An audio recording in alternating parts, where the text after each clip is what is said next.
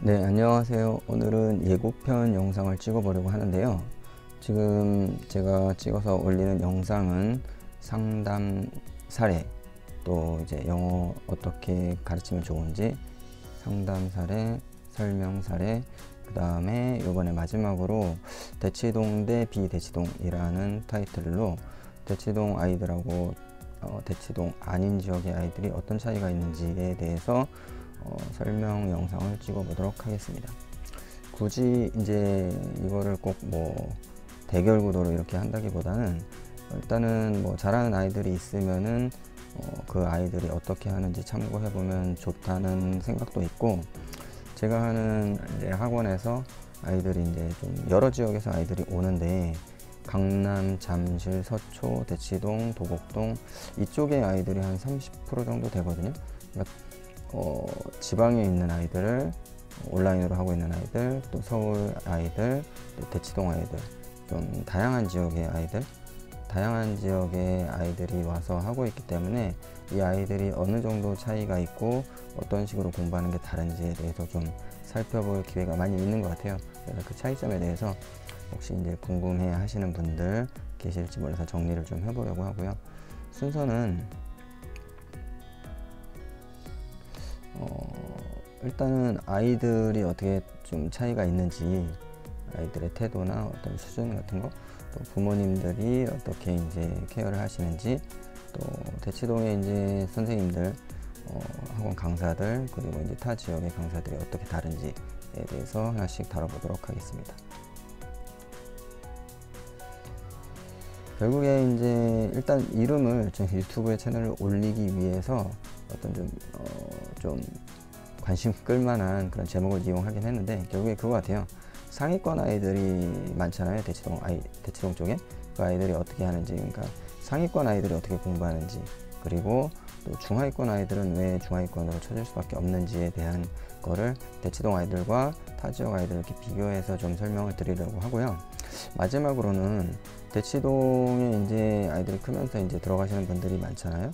이동해 가지고 그쪽에 이제 교육 환경이 좋기 때문에 이동하시는 분들이 많은데 뭐 모든 분들이 그렇게 할 수도 없고 여러 가지 이제 기회 비용 같은 걸 또 생각해야 되고 하기 때문에 전부 다 이제 그렇게 하실 수는 없잖아요. 그래서 어떻게 하면은 꼭 대치동에 가지 않더라도 어, 대치동에서 배우는 것처럼 그 아이들한테 어, 처지지 않고 잘 공부를 할 수 있는지 어떻게 하면 대치동에 가지 않고 그 아이들처럼 공부할 수 있는지에 대한 어, 방향, 방법 같은 것들을 제 어, 생각을 좀 드리면 좋겠다고 생각을 해서 영상을 찍어볼 예정입니다.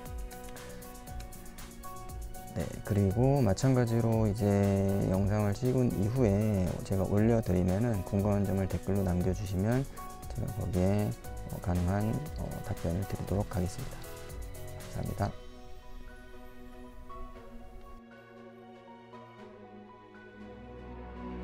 이상하게 쉬운 초등 영어도 못하고 이상하게 실력이 늘지 않는 초등학생들이 있습니다.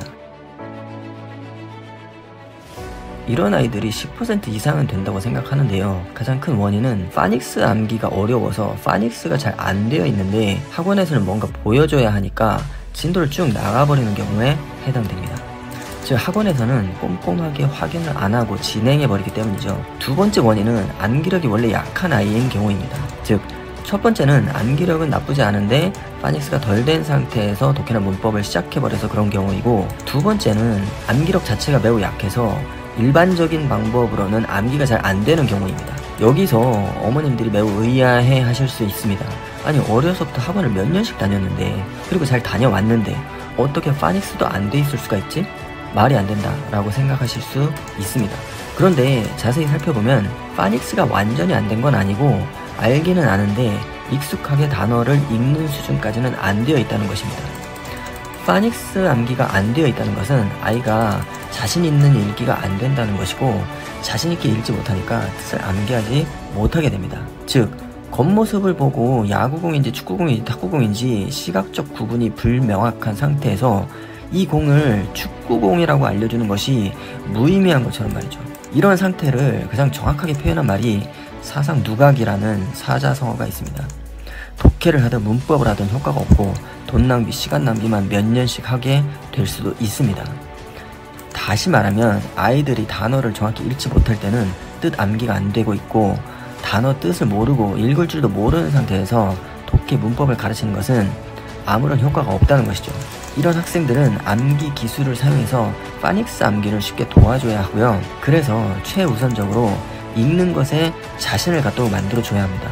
이 기간이 암기력이 아주 나쁘지 않은 경우라면 한두 달이면 끝나지만 아주 나쁘거나 아주 어린 경우라면 6개월 이상 걸릴 수도 있습니다.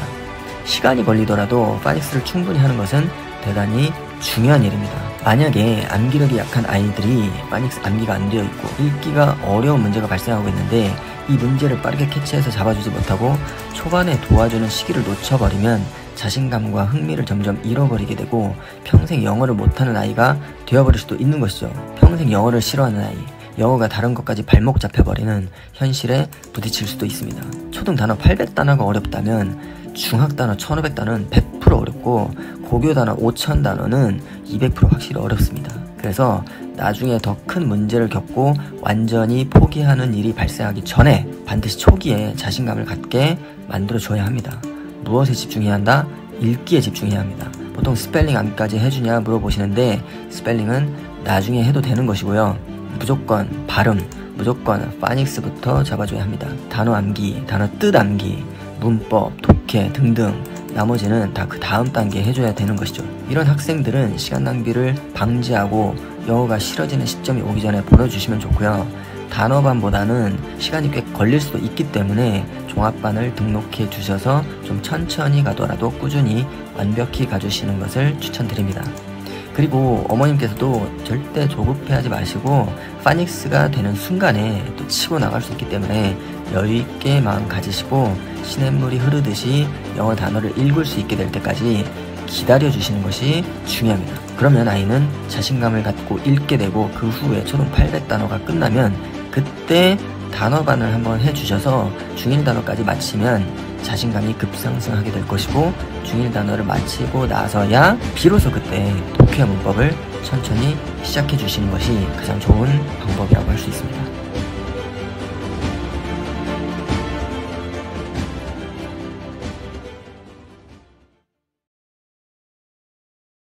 네, 안녕하세요. 한동안 밴드의 소식이 뜸했는데요. 설명의 영상을 좀 더 업그레이드 된 방법으로 찍기 위해서 준비를 좀 했고요. 전에는 저희들 어떤 프로그램들이 있는지 저희들 프로그램 설명 위주로 그런 것들을 많이 했었는데 앞으로는 공부를 어떻게 하면 좋은지 또 영어를 어떻게 시키면 좋은지 또 예를 들어서 구체적으로 문법이나 독해를 어떻게 가르치면 좋은지 그런 것들에 대한 영상도 준비를 하도록 하겠습니다. 어, 얘는 이제 저희 대치기형 영어의 어, 마스코트 캐릭터고요. 그 다음에 첫 번째로 이제 공부에 대한 저의 생각을 잠깐 말씀드리자면은 어, 공부에 대해서 이제 고민들이 많으실 텐데 저는 제일 중요하게 생각하는 게 뭐냐면 예전에 이제 공부하던 거랑은 좀 많이 달랐잖아요. 달라졌잖아요. 그래서 어떻게 좀 더 맨날 맨날 더 많이 해라 이렇게 시키기보다는 어떻게 공부해야 되는가부터 아이들에게 인지를 시켜주는 것이 좋다고 생각을 합니다.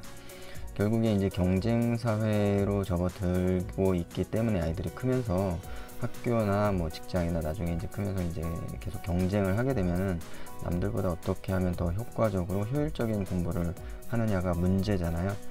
아무런 공부법이 없이 그냥 내보내는 거는 총이 없이 총이나 무기 없이 전쟁터에 나가는 거랑 똑같다고 생각을 하거든요.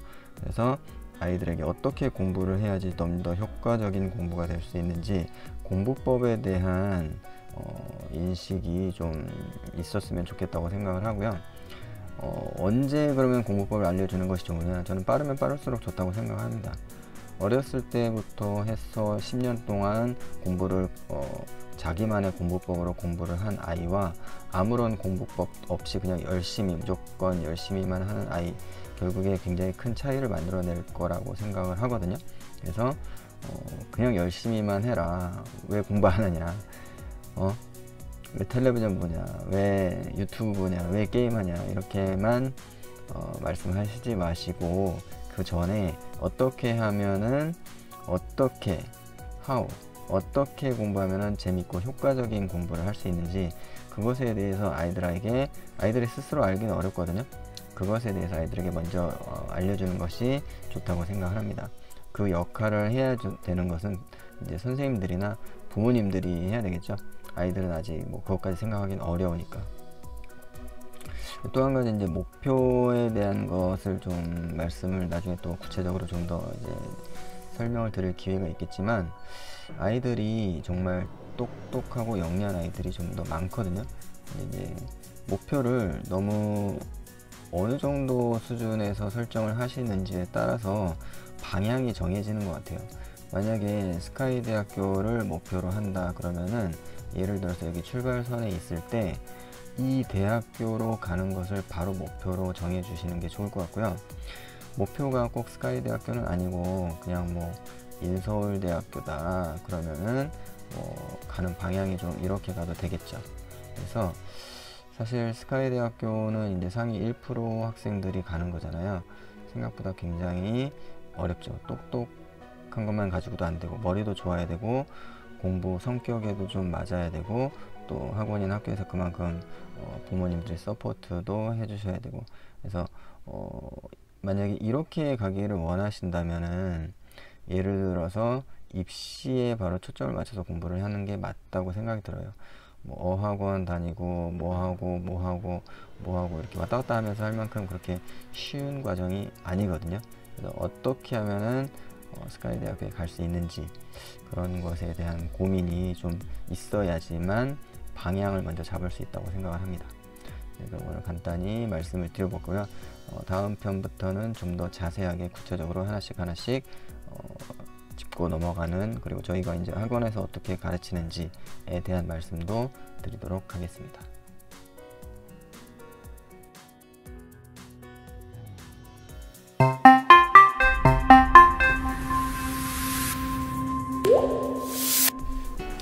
네, 안녕하세요. 지난번에 녹화를 했었고요. 오늘부터는 예고 드린 대로 학원 설명회뿐만 아니라 어떤 학생들에 대해서 어떻게 대응해야 되는지 그런 점들에 대해서 상담 형식으로 영상을 찍어 보도록 하겠습니다. 첫 번째 영상은 어, 초등학생들이 영어를 할 때 보통은 이제 회화나 활동 위주로 하기 때문에 영어를 싫어하는 학생들이 거의 없는데 어, 가끔 이제 영어를 싫어하는 초등학생들도 있거든요. 그런 학생들의 원인은 무엇이고 어떻게 대응하면 좋은지 그것에 대한 영상을 찍어 보았습니다. 일단은 저희가 이제 초등학생인데도 영어를 싫어하거나 좀 다른 애들에 비해서 뒤처진 학생들을 왔을 때 보면은 그 원인을 파악해 보면은 어, 어머님들께서는 당연히 돼 있을 거라고 생각하시는데 파닉스가 안 돼 있는 경우가 좀 있거든요. 그래서 정확하게 파닉스가 되어 있는지를 먼저 확인해 주는 것이 좋습니다. 어, 완벽하게 돼 있어야 되고요. 약간 일부분 빠져 있거나 이중모음을 잘 모른다든지 그런 내용들에 대해서 좀 완벽하게 되어 있는지 어, 확인, 확인을 꼭 해주시면 좋겠습니다. 왜 그러냐면요. 보통 학원에서 아이들이 어느 정도 돼 있으면 이제 진도를 쭉 나가게 되는데 근데 안 되는 아이들이 간혹가다 있을 수 있잖아요. 완벽하지 않은 아이들이 그런 아이들이 있더라도 이걸 확인을 못 해주고 쭉 나가시는 경우가 많기 때문에 그러면은 당연히 빈틈이 생기게 되죠. 그러면 이제 이게 이렇게 보시면 됩니다. 약간 사상 누각이라고 할까요? 모래성이 쌓여지는 거라고 보시면 될 것 같아요. 그래서 파닉스가 안 돼 있는 상태에서 단어 암기나 또 독해, 문법 이렇게 진행되었을 때는 단어 자체가 인식이 잘 안 된 상태에서 수업이 진행되기 때문에 어, 이게 사상 누각처럼 이제 나중에 이제 없어져 버리는 거죠. 그럼 이제 아이는 여기 파닉스에서 정체되어 있는데 진도만 쭉 나가버리게 되니까 점점 어, 다른 아이들과 격차가 벌어지고 그럼 이제 점점 아이들이 이제 영어를 싫어하게 되는 경우죠. 쉬운 것 같지만 좀 확실하게 어머님들께서 체크해 주시는 게 중요한 것 같습니다. 저희도 아이들이 왔을 때 일단은 파닉스가 정확하게 완벽하게 되어 있는지 그러니까 뜻은 몰라도 읽는 것이 잘 되어 있는지 확인하는 작업을 꼭 하거든요. 그런 것들을 댁에서 체크해 주시면 좋을 것 같습니다. 체크해 주실 때는요, 어, 1단계로는 그 알파벳, 각각의 알파벳 음과 소리가 정확하게 암기되어 있는지, 아까 말씀드린 대로 이중모음이 잘 되어 있는지, 그리고 아이들마다 약간 좀 느린 아이들도 있을 수 있잖아요. 그런 아이들은 예를 들어서 뭐 K, A면은 뭐 카, 그 다음에 뭐 C, A, L, A 뭐 이런 식으로 단어가 있다고 하면은 카, 라 이런 식으로 음절 단위로 읽는 연습을 꼭 꾸준히 시켜주시면 좋을 것 같아요. 이게 안 돼 있는 상태에서 아이들이 이제 추측해서 단어를 읽는 아이들이 있거든요. 단어들이 이제 자주 하게 되면은 음, 봤던 단어들을 또 보게 되면은 이게 이제 정확하게 읽는 방법이 이게 음절 단위로 읽는 방법이 안 돼 있어도 아이들이 대 충 이제 추측해서 읽게 되거든요. 그게 이제 나중에 큰 문제가 되는 것이죠. 그런 경우가 있지 않은지 확인을 해 주시는 작업이 꼭 필요하고요. 그 다음에 그 다음 단계로 단어 암기, 단어 암기를 시켜주시면 되겠죠. 요거를 먼저 확인해 주신 다음에 그 다음에 단어 암기를 시켜 주시면은 어, 될 것 같고요. 단어 암기가 잘 안 돼 있는 상태에서 보통 아까도 이제 파닉스가 안 돼 있는 상태에서 학원에서 이제 단체로 하다 보니까 쭉 나가는 경우가 있잖아요. 그랬을 경우에 문제가 되죠. 마찬가지로 단어 암기가 잘 안 돼 있는 물론 이제 800단어기 때문에 기초 단어들도 있고 하기 때문에 쉽지만 그럼에도 불구하고 단어가 안돼 있는 아이들이 꽤 있거든요. 어머님들께서도 아마 800단어 직접 해보시면은 적은 양이 아니기 때문에 어머님들께서도 아마 까먹으신 단어들이 꽤 있을 거라고 생각이 들고요. 그럼 물론 아이들도 이제 그럴 수가 있죠. 그렇기 때문에 800단어가 정확히 암기가 안 돼 있는 상태에서 또 독해 문법을 나간다. 그러면은 이제 또 이게 점점 점점 난이도가 어려워지는 것이죠. 그런 경우도 있으니까 반드시 확인을 어, 설마라고 생각하지 마시고요. 그런 경우 반드시 있거든요. 확인을 해, 해 주시기 바라겠습니다. 자, 그래서 이제 아까 이제 파닉스가 안 돼 있거나 뭐 단어가 안 돼 있어서 기초가 안 돼 있는 상태에서 진도를 나가게 되면은 아이들이 이제 점점 진도 수준이 아, 다른 아이들에 비해서 뒤처지기 때문에 싫어하게 되는 경우요. 그러면 어떻게 대응을 하느냐? 단어를 좀 먼저 암기를 다 끝내주세요. 단어를 암기하게 되면은 그 다음에 이제 독해 문법은 순수하게 독해 문법만 하게 되죠.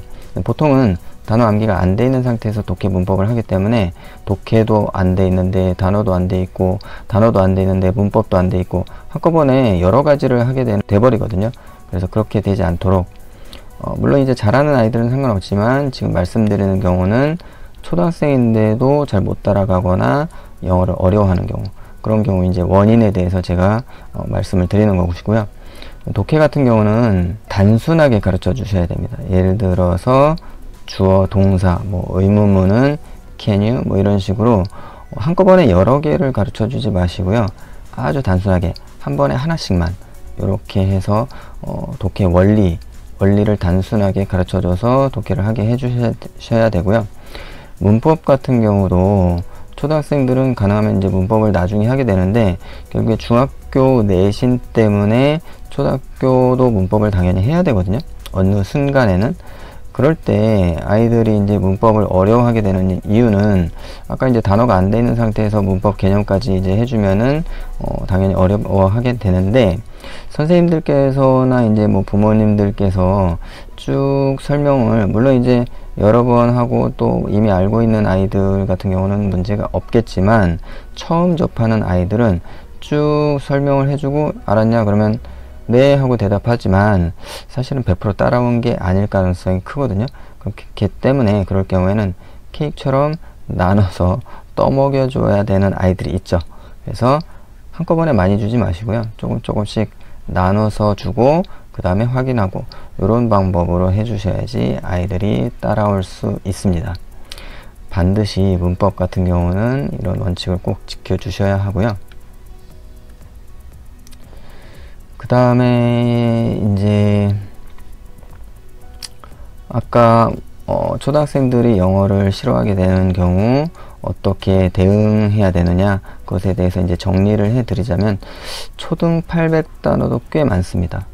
어머님들께서 단호암기에 대해서 이제 쉽게 생각하시는 경우나 또는 신경을 많이 안 쓰시는 경우도 계시겠지만 실제로 아이 옆에다 붙들어 두고 100단어만 한번 처음 보는 단어들 100단어만 암기시켜 보시면은 아마 몇 시간이 지나도 암기가 뭐 될 수도 있고 안 될 수도 있겠지만 나중에 보면 다 까먹고 장기 기억, 단기 기억도 어렵지만 장기 기억 한 100단어 정도만 시켜 보시면 단어 암기가 어, 쉽지 않다는 것을 아실 수 있으실 거예요. 그러면 800단어는 아이들에게 6, 6년 동안 암기해야 되는 양이거든요.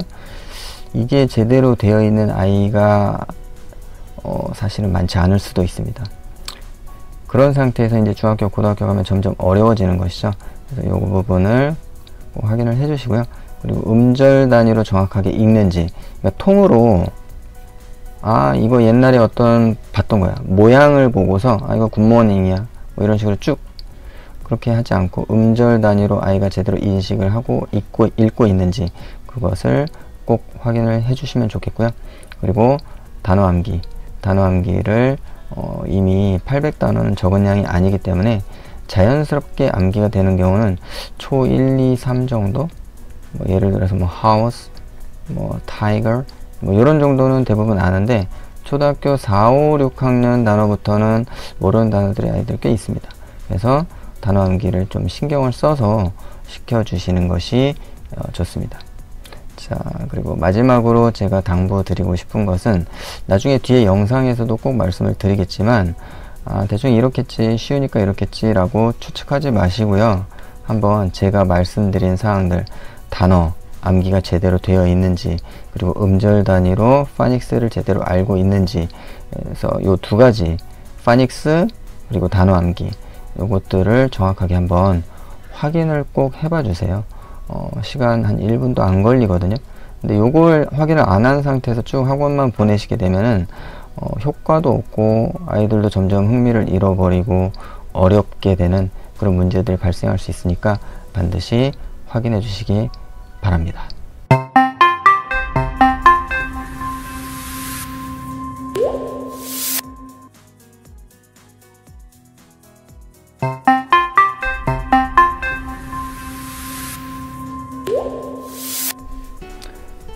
안녕하세요. 지난번에 녹화를 했었고요. 오늘부터는 예고 드린 대로 학원 설명회 뿐만 아니라 어떤 학생들에 대해서 어떻게 대응해야 되는지 그런 점들에 대해서 상담 형식으로 영상을 찍어 보도록 하겠습니다.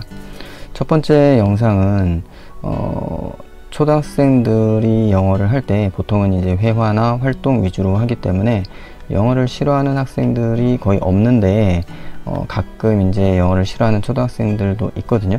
그런 학생들의 원인은 무엇이고 어떻게 대응하면 좋은지 그것에 대한 영상을 찍어 보았습니다. 일단은 저희가 이제 초등학생인데도 영어를 싫어하거나 좀 다른 애들에 비해서 뒤처진 학생들을 왔을 때 보면은 그 원인을 파악해 보면은 어, 어머님들께서는 당연히 돼 있을 거라고 생각하시는데 파닉스가 안 돼 있는 경우가 좀 있거든요. 그래서 정확하게 파닉스가 되어 있는지를 먼저 확인해 주는 것이 좋습니다. 어, 완벽하게 돼 있어야 되고요. 약간 일부분 빠져 있거나 이중모음을 잘 모른다든지 그런 내용들에 대해서 좀 완벽하게 되어 있는지 어, 확인, 확인을 꼭 해주시면 좋겠습니다. 왜 그러냐면요. 보통 학원에서 아이들이 어느 정도 돼 있으면 이제 진도를 쭉 나가게 되는데 근데 안 되는 아이들이 간혹가다 있을 수 있잖아요. 완벽하지 않은 아이들이 그런 아이들이 있더라도 이걸 확인을 못 해주고 쭉 나가시는 경우가 많기 때문에 그러면은 당연히 빈틈이 생기게 되죠. 그러면 이제 이게 이렇게 보시면 됩니다. 약간 사상 누각이라고 할까요? 모래성이 쌓여지는 거라고 보시면 될 것 같아요. 그래서 파닉스가 안 돼 있는 상태에서 단어 암기나 또 독해, 문법 이렇게 진행되었을 때는 단어 자체가 인식이 잘 안 된 상태에서 수업이 진행되기 때문에 어, 이게 사상 누각처럼 이제 나중에 이제 없어져 버리는 거죠. 그럼 이제 아이는 여기 파닉스에서 정체되어 있는데 진도만 쭉 나가버리게 되니까 점점 어, 다른 아이들과 격차가 벌어지고 그럼 이제 점점 아이들이 이제 영어를 싫어하게 되는 경우죠. 쉬운 것 같지만 좀 확실하게 어머님들께서 체크해 주시는 게 중요한 것 같습니다. 저희도 아이들이 왔을 때 일단은 파닉스가 정확하게 완벽하게 되어 있는지 그러니까 뜻은 몰라도 읽는 것이 잘 되어 있는지 확인하는 작업을 꼭 하거든요. 그런 것들을 댁에서 체크해 주시면 좋을 것 같습니다. 체크해 주실 때는요. 어, 1단계로는 그 알파벳, 각각의 알파벳 음과 소리가 정확하게 암기되어 있는지 아까 말씀드린 대로 이중모음이 잘 되어 있는지 그리고 아이들마다 약간 좀 느린 아이들도 있을 수 있잖아요. 그런 아이들은 예를 들어서 뭐 K, A면은 뭐 카, 그 다음에 뭐 C, A, L, A 뭐 이런 식으로 단어가 있다고 하면은 카, 라 이런 식으로 음절 단위로 읽는 연습을 꼭 꾸준히 시켜주시면 좋을 것 같아요. 이게 안 돼 있는 상태에서 아이들이 이제 추측해서 단어를 읽는 아이들이 있거든요. 단어들이 이제 자주 하게 되면은 음, 봤던 단어들을 또 보게 되면은 이게 이제 정확하게 읽는 방법이 여기 음절 단위로 읽는 방법이 안 돼 있어도 아이들이 대 충 이제 추측해서 읽게 되거든요. 그게 이제 나중에 큰 문제가 되는 것이죠. 그런 경우가 있지 않은지 확인을 해 주시는 작업이 꼭 필요하고요. 그 다음에 그 다음 단계로 단어 암기, 단어 암기를 시켜주시면 되겠죠. 요거를 먼저 확인해 주신 다음에 그 다음에 단어 암기를 시켜 주신면은 어, 될 것 같고요. 단어 암기가 잘 안 돼 있는 상태에서 보통 아까도 이제 파닉스가 안 돼 있는 상태에서 학원에서 이제 단체로 하다 보니까 쭉 나가는 경우가 있잖아요. 그랬을 경우에 문제가 되죠. 마찬가지로 단어 암기가 잘 안 돼 있는 물론 이제 800단어기 때문에 기초 단어들도 있고 하기 때문에 쉽지만 그럼에도 불구하고 단어가 안돼 있는 아이들이 꽤 있거든요. 어머님들께서도 아마 800단어 직접 해보시면은 적은 양이 아니기 때문에 어머님들께서도 아마 까먹으신 단어들이 꽤 있을 거라고 생각이 들고요. 그럼 물론 아이들도 이제 그럴 수가 있죠. 그렇기 때문에 800단어가 정확히 암기가 안 돼 있는 상태에서 또 독해 문법을 나간다. 그러면은 이제 또 이게 점점 점점 난이도가 어려워지는 것이죠. 그런 경우도 있으니까 반드시 확인을 어, 설마라고 생각하지 마시고요.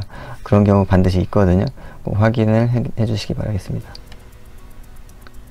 자, 그래서 이제 아까 이제 파닉스가 안 돼 있거나 뭐 단어가 안 돼 있어서 기초가 안 돼 있는 상태에서 진도를 나가게 되면은 아이들이 이제 점점 진도 수준이 아, 다른 아이들에 비해서 뒤처지기 때문에 싫어하게 되는 경우요. 그러면 어떻게 대응을 하느냐? 단어를 좀 먼저 암기를 다 끝내주세요. 단어를 암기하게 되면은 그 다음에 이제 독해 문법은 순수하게 독해 문법만 하게 되죠. 보통은 단어 암기가 안 돼 있는 상태에서 독해 문법을 하기 때문에 독해도 안 돼 있는데 단어도 안 돼 있고 단어도 안 돼 있는데 문법도 안 돼 있고 한꺼번에 여러 가지를 하게 되, 돼버리거든요. 그래서 그렇게 되지 않도록 어, 물론 이제 잘하는 아이들은 상관없지만 지금 말씀드리는 경우는 초등학생인데도 잘 못 따라가거나 영어를 어려워하는 경우 그런 경우 이제 원인에 대해서 제가 어, 말씀을 드리는 것이고요. 독해 같은 경우는 단순하게 가르쳐 주셔야 됩니다. 예를 들어서 주어, 동사, 뭐 의문문은 can you 뭐 이런 식으로 한꺼번에 여러 개를 가르쳐 주지 마시고요. 아주 단순하게 한 번에 하나씩만 이렇게 해서 어, 독해 원리 원리를 단순하게 가르쳐 줘서 독해를 하게 해 주셔야 되고요. 문법 같은 경우도 초등학생들은 가능하면 이제 문법을 나중에 하게 되는데 결국에 중학교 내신 때문에 초등학교도 문법을 당연히 해야 되거든요. 어느 순간에는 그럴 때 아이들이 이제 문법을 어려워하게 되는 이유는 아까 이제 단어가 안 돼 있는 상태에서 문법 개념까지 이제 해주면은 어 당연히 어려워하게 되는데 선생님들께서나 이제 뭐 부모님들께서 쭉 설명을 물론 이제 여러 번 하고 또 이미 알고 있는 아이들 같은 경우는 문제가 없겠지만 처음 접하는 아이들은 쭉 설명을 해주고 알았냐 그러면 네 하고 대답하지만 사실은 100% 따라온 게 아닐 가능성이 크거든요. 그렇기 때문에 그럴 경우에는 케이크처럼 나눠서 떠먹여 줘야 되는 아이들이 있죠. 그래서 한꺼번에 많이 주지 마시고요. 조금 조금씩 나눠서 주고 그 다음에 확인하고 이런 방법으로 해주셔야지 아이들이 따라올 수 있습니다. 반드시 문법 같은 경우는 이런 원칙을 꼭 지켜주셔야 하고요. 그 다음에 이제 아까 어, 초등학생들이 영어를 싫어하게 되는 경우 어떻게 대응해야 되느냐 그것에 대해서 이제 정리를 해 드리자면 초등 800단어도 꽤 많습니다.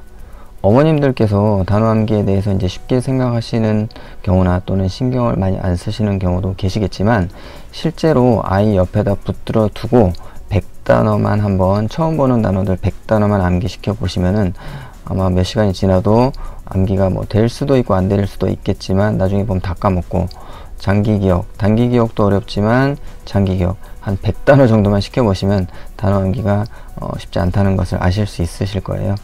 그러면 800단어는 아이들에게 6, 년 동안 암기해야 되는 양이거든요. 이게 제대로 되어 있는 아이가 어, 사실은 많지 않을 수도 있습니다. 그런 상태에서 이제 중학교, 고등학교 가면 점점 어려워지는 것이죠. 그래서 이 부분을 확인을 해 주시고요. 그리고 음절 단위로 정확하게 읽는지 그러니까 통으로 아 이거 옛날에 어떤 봤던 거야 모양을 보고서 아 이거 굿모닝이야 뭐 이런 식으로 쭉 그렇게 하지 않고 음절 단위로 아이가 제대로 인식을 하고 읽고 읽고 있는지 그것을 꼭 확인을 해 주시면 좋겠고요. 그리고 단어 암기. 단어 암기를 어, 이미 800단어는 적은 양이 아니기 때문에 자연스럽게 암기가 되는 경우는 초 1, 2, 3 정도? 뭐 예를 들어서 뭐 house, 뭐 tiger 뭐 이런 정도는 대부분 아는데 초등학교 4, 5, 6학년 단어부터는 모르는 단어들이 아이들 꽤 있습니다. 그래서 단어 암기를 좀 신경을 써서 시켜주시는 것이 어, 좋습니다. 자, 그리고 마지막으로 제가 당부드리고 싶은 것은 나중에 뒤에 영상에서도 꼭 말씀을 드리겠지만 아, 대충 이렇겠지, 쉬우니까 이렇겠지 라고 추측하지 마시고요. 한번 제가 말씀드린 사항들, 단어, 암기가 제대로 되어 있는지, 그리고 음절 단위로 파닉스를 제대로 알고 있는지, 그래서 요 두 가지, 파닉스, 그리고 단어 암기, 요것들을 정확하게 한번 확인을 꼭 해봐 주세요. 어, 시간 한 1분도 안 걸리거든요. 근데 요걸 확인을 안 한 상태에서 쭉 학원만 보내시게 되면은 어, 효과도 없고 아이들도 점점 흥미를 잃어버리고 어렵게 되는 그런 문제들이 발생할 수 있으니까 반드시 확인해 주시기 바랍니다.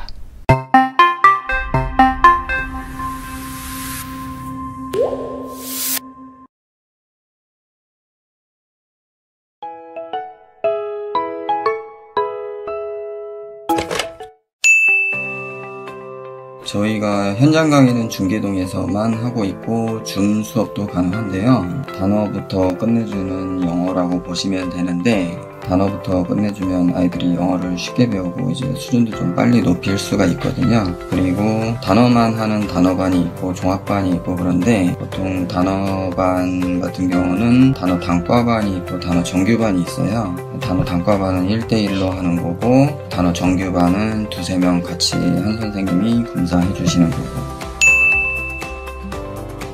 DB가 조금 멋이잖아요. 그런 경우는 단어 단과반 1대1로 하고 3시간씩 두 번 진도 나가고 나머지는 줌으로 하는 단과반을 하시는 게 적당하죠. 좀먼 데서 오는 아이들은 이제 단어반 하러 오는 아이들이 많죠. 진도도 줌으로 가능한데요. 어제도 잠실 쪽에서 어떤 여학생 와서 하고 갔는데 그 여학생도 어제 이번 주에 두번 와가지고 현장 강의하고 갔고요. 나머지는 줌으로 이제 다음 주 월요일부터 하기로 했고 방학 때 많이들 하시는데 저희는 그냥 이게 하나의 단과 프로그램으로 계속 있는 거고요.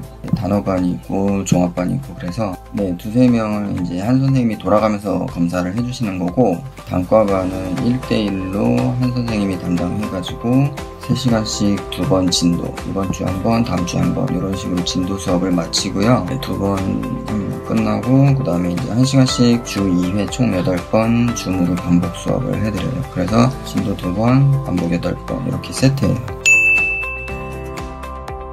진도 나가면서 이제 단기 기억 시키는 거고요. 진도 나가는 수업은 이제 기억술 같은 거 이용해가지고 단기 기억을 시켜주는 거고 줌으로 하는 8번 반복 수업은 반복 기술을 이용해가지고 반복 수업 해주는 거고 줌 수업 같은 경우는 회비 입금 해주시면 저희가 교재 발송해드리고 날짜 잡아서 하고 있어요.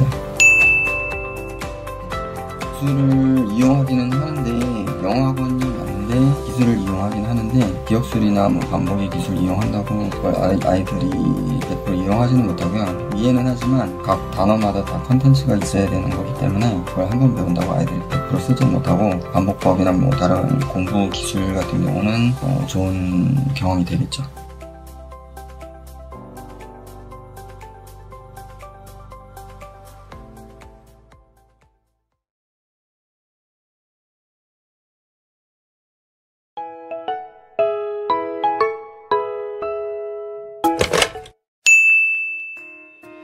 1, 2학년 모의고사가 좀 쉽기 때문에 1, 2등급 나왔던 아이들도 보통 2학년 후반부터 조금씩 점수가 내려가는 경향이 보통 있는데요. 뭐 많이 있는 현상이고요. 그래서 이제 잘하는 아이들도 좀 점수가 불안하다고 느껴지는 게 이제 모르는 단어가 생각보다 많이 나오게 되면 본인들이 이제 좀 불안하게 생각을 하거든요. 그래서 좀 큰 아이들도 단어 수업을 듣는 경우가 많이 있고요.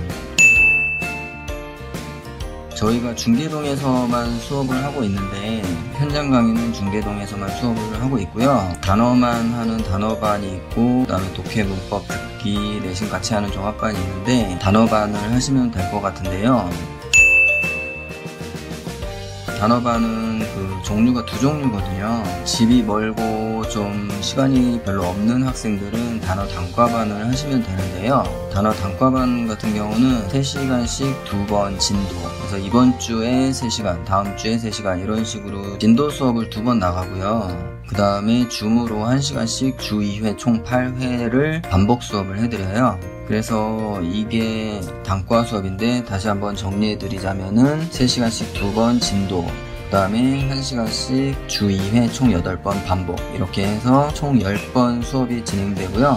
이렇게 해서 하나의 세트가 단과 하나의 세트가 완성이 되는 거고요.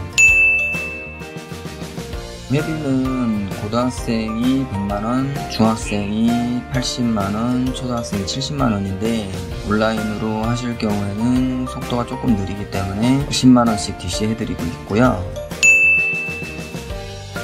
단어 정규반은 이제 최근에 만들어진 건데 집이 노원이나 쪽 중계동에서 좀 가까운 아이들이 많이 하는데요. 이거는 1대1 수업은 아니고 두세 명 같이 있고 선생님이 이제 돌아가면서 검사를 해주시고요. 대신에 이건 2시간씩 일주일에 두 번, 2시간씩 총 6번 진도 나가는 수업을 하고 마지막 2시간씩 두 번, 두 번은 이제 재점검 해가지고 까먹은 거 다시 암기 시켜드리거든요. 그래서 이게 단어 정규반은 총 8번 수업이 진행이 되는 거죠. 그래서 단어 정규반 같은 경우는 더 여러 번 하기 때문에 아무래도 단어 단과반이 예를 들어서 뭐 한 1000단어 체크해서 한 400단어 암기한다 그러면은 단어 정규반은 한 1500단어에서 한 2000단어 진도를 나가고 그 안에서 모르는 단어 암기를 시킨다고 보시면 될 것 같아요. 진도 나가는 수업은 3시간씩 두 번 나가는 수업은 수목 금은 한 4시 5시 정도에 시작하시면 되고요. 그리고 토일은 토요일하고 일요일은 한 3시 정도 수업이 가능해요. 그렇게 해서 모르는 단어 체크하는 시간이 있기 때문에 보통 한 3시간 반씩 수업을 하고요. 일주일 정도 텀을 두고 1차 수업이 이번 주 토요일 했으면 2차 수업은 다음 주 토요일. 이런 식으로 진도 나가고 1차 수업 진도 나간 다음에 바로 반복 수업 바로 같이 시작을 하게 됩니다 뭐 일요일만 두 번 하신다든지 일주일 정도 기간을 두고 하시는 게 제일 좋죠.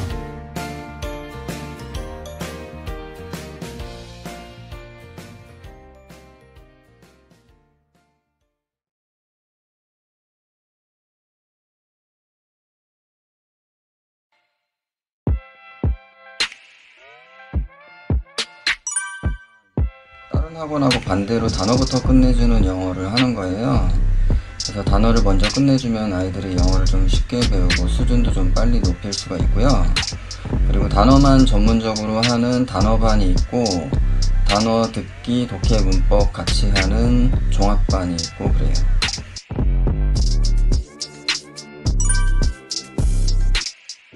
네, 1대1 수업도 있고 같이 하는 수업도 있는데요. 1대1 수업 하는 게 단과반이고 같이 두세 명 같이 봐주는 게 정규반이 있어요. 어, 딱 중1까지가 조금 여유가 있는 편이고요. 네, 이제 중2가 되면은 내신이 시작돼서 계속 내신 치다 보면 단어 암기할 시간이 없거든요, 아이들이. 그래서 어휘력이 잘 늘지가 않고 그 상태로 고등학교로 진학하는 경우가 많고요. 중학교 때는 500단어씩 나오지만 고등학교 가면은 내신은 더 할 게 더 많아지는데 단어는 2000단어씩 나오니까 아이들이 좀 못 따라가는 경우가 많아서 그냥 단어를 모른 채로 공부하는 아이들이 많거든요. 그래서 지금보다는 중- 고등학교 가서 문제가 되는 경우가 많고요. 단어 단과반 같은 경우는 1대1로 해서 3시간씩 두 번 진도를 나가요. 일주일에 두 번이 아니고 이번 주에 한 번, 다음 주에 한 번 이런 식으로 진도 수업 두 번 하고 끝. 그리고 1시간씩 줌으로 주 2회 총 8번 반복 수업. 그래서 진도 나가는 수업 두 번, 반복 수업 8번 이렇게 세트예요. 1일 천단어인데 이제 두 번에 나눠서 하는 거고요. 어, 그렇게 해가지고 1000단어에서 1500단어를 아는 단어 모르는 단어 다 같이 외우는 게 아니라 학생하고 같이 하나하나 다 체크를 해가지고 모르는 단어를 선별해서 개인 파일을 만든 다음에요. 모르는 단어만 뭐 3, 40% 나온다 그러면 이제 한 4, 500단어 새로 암기를 한다고 보시면 될 것 같아요. 저희가 커리큘럼은 초등부터 고교, 중학, 고교, 수능, 능률복화, EBS까지 한 7,600단어 정도 커리큘럼이 있고요. 그게 보통 뭐 한 6년에서 9년 정도 걸려서 이제 암기할 단어잖아요. 그거를 저희가 이제 한 10배 빨리 암기시켜드리는 프로그램이라고 볼 수 있고요. 그래서 단과가 기간으로 따지면 한 달 정도 걸리잖아요. 그렇게 해서 뭐 단어를 조금 했던 아이면은 한 네, 네, 네다섯 번 정도 단과 하면은 커리큘럼이 끝나고요. 단어를 전혀 안 했던 아이가 할 경우에는 여섯 번에서 일곱 여덟 번 하면은 된다고 보시면 될 것 같아요. 요게 이제 단어 단과반이고요. 1대1로 하는 단어 단과반. 그리고 단 어 정규반이 있는데 이거는 이제 최근에 만들어진 건데요. 노원구에 살거나 좀 집이 가까운 아이들은 여러 번 올 수 있잖아요. 그래서 이제 어, 여러 번 올 수 있는 아이들이 대신에 이제 다른 아이들하고 같이 하기는 하는데 여러 번 와서 하라고 저희가 2시간씩 6번 진도 그 다음에 두번 재점검 이렇게 해서 총 8번 2시간씩 8번 해드리는 단어 정규반 프로그램이 있어요. 네, 시간이 좀 많고 모르는 단어가 많고 좀 여유 있게 많이 해야 되겠다 그러면 단어 정규반이 맞, 맞고요 좀 시간이 없고 집도 멀고 그렇다 그러면은 단어 단과반을 하시는 게 맞는데 노원구 쪽의 아이들은 단어 정규반을 많이 하고 뭐 강남이나 잠실 쪽의 아이들 집이 먼 아이들은 단어 단과반을 많이 하고 그래요 그렇죠. 이제 진도 수업을 3시간씩 두 번 해주고 끝내는 거예요. 그렇게 하면은 천 단어 이상 체크해서 암기를 할 수 있거든요. 음, 시간은 시간은 수목금토일 중에서 3시, 4시, 5시 뭐 그때쯤에 선택해서 하실 수 있고 그 다음에 음, 줌 수업은 반복 선생님하고 시간 맞춰서 저녁 때나 아무 때나 좀 가능하고 그래요. 이제 집이 먼 아이들은 줌으로 진도 수업 나가는 아이들도 있어서 그거는 이제 뭐 교재 발송해드리고 어, 그런 식으로 하고 있어요. 줌으로 이제 하는 아이들도 있거든요. 집이 먼 아이들은 그런 아이들은 이제 회비 입금하고 교재 발송해드리고 날짜 잡아서 줌 수업도 줌으로 진도 수업까지 나가는 것도 있어요. 그렇죠. 다 잊어버리는데 저희가 이제 진도 나가면서도 반복을 하고요. 그리고 반복 수업을 8번 하면은 그 안에 이제 한 2, 30번 반복을 하거든요. 저희는 이제 다른 뭐 단어 암기 프로그램하고 좀 다른 게 사람이 직접 암기시키는 거라서 1대1로 이제 맞춤형으로 암기를 해요. 하고 보장 프로그램이라서 뭐 만약에 했는데 까먹었다 그러면은 거기까지는 다시 이제 해드린다든지 까먹은 걸 다시 해드린다든지 뭐 보장 프로그램이라고 보시면 될 것 같아요.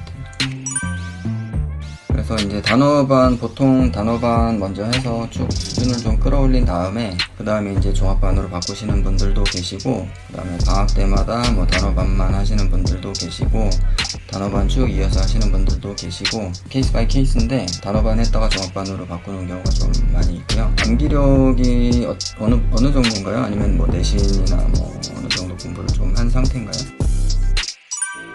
그렇죠. 아무래도 저희가 이제 암기에 대한 노하우가 많이 있기 때문에 내신이나 문법도 아무래도 딴 데보다는 암기를 잘 시키고요.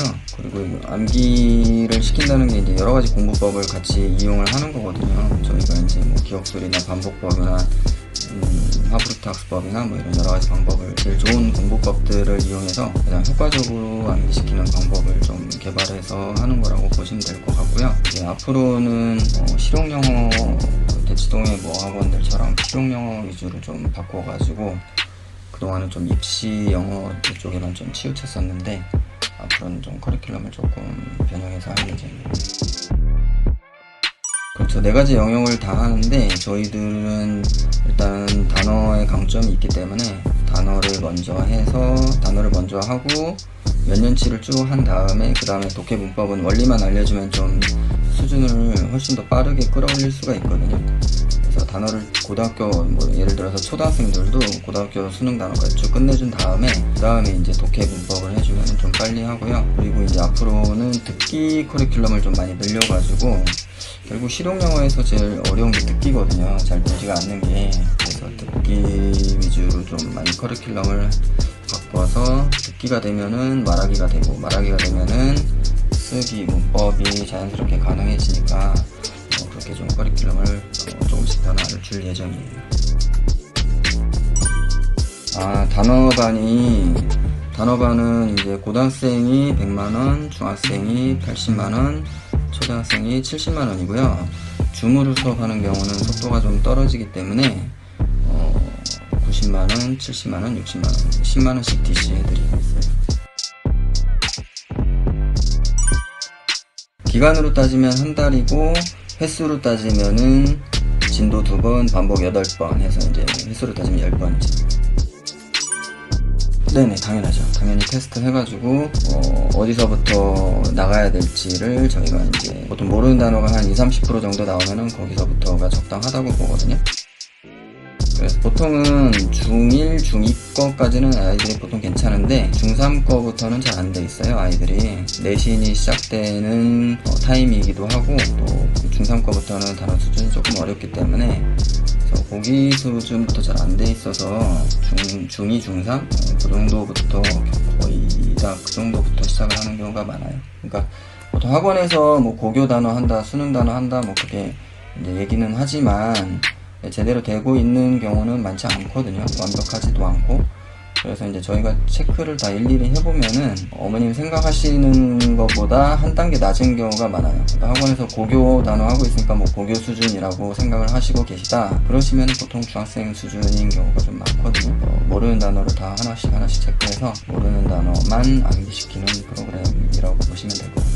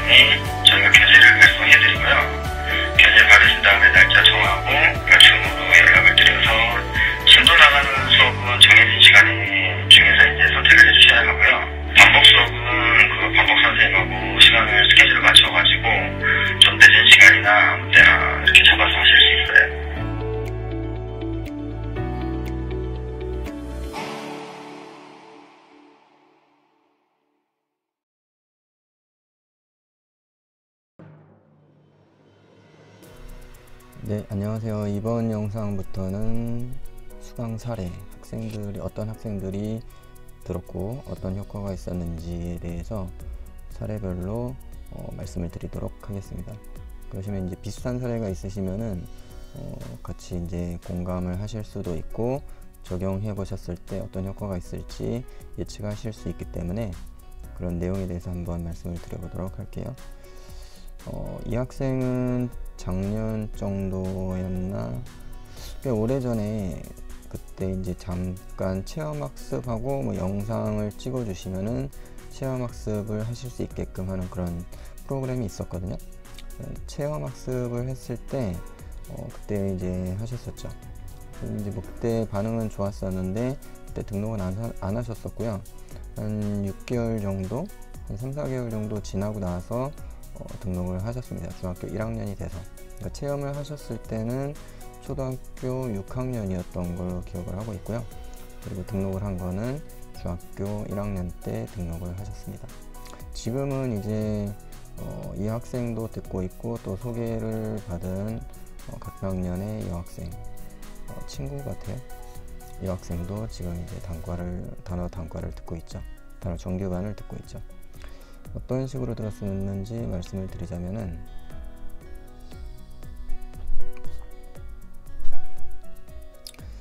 아까 말씀대로 이제 맨 처음에 체험학습을 했었고요. 지금은 하고 있지 않습니다. 단어 정규반은 단어 단과반하고 저희가 정규반이 있는데 단어 단과반은 이제 집이 먼 아이들, 먼 아이들이 두 번, 세 시간씩 수업 듣고 여덟 번 반복 수업하는 이런 프로그램이고요. 단어 정규반은 어, 근처에 있는 학생들이 여섯 번 진도 나가는 수업을 하고 그 다음에 두 번 추가로 저희가 반복 수업을 하는 그런 프로그램이거든요. 회비는 같지만 이게 이제 아무래도 가까운 데 있는 아이들이 어, 여러 번 와서 들어주는 것이기 때문에 어, 회비는 같지만 단어 양은 요 정규반이 한 1000단어에서 한 1500단어 정도 정도 더 많이 하고 있는 것 같아요. 대신에 이 단과반 같은 경우는 1대1 수업으로 가능하면 진행을 하고 정규반 같은 경우는 여러 번 오는 대신 한 3, 4명 같이 이제 진행을 한다고 보시면 될 것 같습니다. 그러니까 이제 가끔 이제 왜 뭐 얘는 어떻고 얘는 어떻고 이렇게 차이에 대해서 뭐 얘는 단어가 숫자가 어떻고 얘는 몇 명에서 차이에 대해서 말씀을 하시는 분들이 계시는데 다 이유가 있거든요. 얘는 이제 여러 번 오는 대신에 어 같이 봐주고 얘는 이제 좀 멀리서 한꺼번에 해야 되기 때문에 어 1대1로 봐준다든지 그런 차이점이 있다는 것을 어 이유가 있다는 것을 알아주셨으면 좋겠고요. 정규반으로 일단은 이제 집이 근처였기 때문에 정규반으로 수강을 했고 처음에 체험학습 때도 이제 초등학교 단어가 잘 안 돼 있는 상태였어요. 그랬으니까 이제 점점 점점 흥미를 잃어버리게 되는 상태였죠. 이제 뭐 몇 개월 후에 오셨으니까 아무래도 개선이 잘 안 됐으니까 오셨었겠죠. 기억을 잘 하고 계셨다가 오셔서 단어 정규반을 일단 한 번 정도 수강을 해가지고 어, 초등학교 단어 마치고 중학교 1, 2, 3학년 거까지 어, 물론 모르는 단어가 좀 많았지만 아이가 착하게 잘 성실하게 따라왔기 때문에 1학년, 2학년, 3학년 거까지 약 1,500단어를 1,500단어에서 뭐 초등 단어까지 하면은 뭐 한 2,000단어 정도는 됐겠죠. 그 정도 단어를 마쳤습니다. 그래서 이제 지금은 이제 어, 그 상태에서는 어느 정도 자신감을 회복해서 다녔고요. 그 다음에 어머니께서 이어서 문법이 이제 잘 정리가 안 돼 있었기 때문에 저희가 문법을 한 달 정도 수강을 하면은 문법 뭐 완벽하게는 아니지만 어, 정의 그리고 기본적인 문제들 기본 문제 문법에 대한 정의 그리고 기본 문제들까지는 어느 정도 해결을 할 수가 있거든요. 그래서 중학 문법 중학 문법을 수강을 해주셨죠. 어, 이렇게 들으시는 분들이 최근에 좀 많았던 것 같아요. 얼마 전에 그 사립초 학생도 그랬고 이렇게 들으시고 어, 문법 정리가 끝난 다음에 그 다음에 이제 종합반으로 전환을 해서 지금 3개월 차 되고 있습니다. 3개월 차 돼서 어, 독해는 이제 단어가 이제 중학교 3학년 거까지 됐, 지만 뭐 기초부터 이제 저희는 이제 빠르게 하더라도 단계를 밟아 올라가는 편이거든요. 중학교 2학년 거 정도 문법은 이제 많이 안 해봤기 때문에 중학교 1학년 거 정도 하고 있고 단어는 이제 중3 거를 마치고 반복도 어느 정도 충실히 잘 이행이 됐다고 판단이 돼서 고1 거 단어를 이제 시작하고 있습니다. 그래서 3개월 정도, 3개월 정도 뭐 어, 단어 정기반이 조금 비싼 편이기 때문에 비용이 추가가 됐지만 초등학교 6년 동안에 초등학교 800단어도 해결이 안 됐었잖아요. 그것을 어, 한 달 만에 1, 2, 3학년 것까지 다 마치고 그리고 이제 요 정도 마치게 되면은 독해, 문법도 좀 수준을 좀 어, 단기간에 좀 끌어올려주는 게 가능하거든요. 이렇게 해서 지금 잘 다니고 있고요. 최근에는 뭐 갑자기 초콜릿 가져오고 과자 갖다 주고 남학생인데 그래서 이제 좀 많이 표정도 밝아지고 자신감이 있어지고 어, 좀 즐겁게 다니는 것 같습니다. 네, 일단 이런 사례 하나 좀 말씀드렸습니다. 참고하시기 바랍니다.